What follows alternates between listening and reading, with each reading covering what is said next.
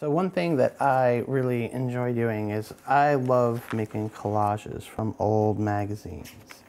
Um, when I'm in my downtimes, trying to relax, you know, I just look through these magazines. You get at garage sales for, you know, you never want to spend too much money on them.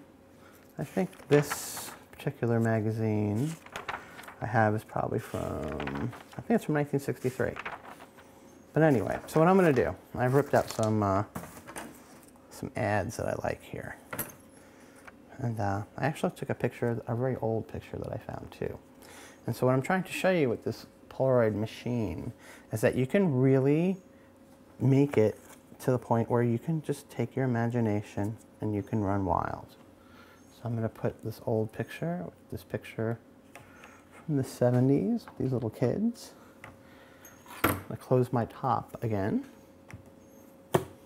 set my exposure level at zero. I'm to expose. I'm to see what my image looks like. So again, pull it and wait a minute.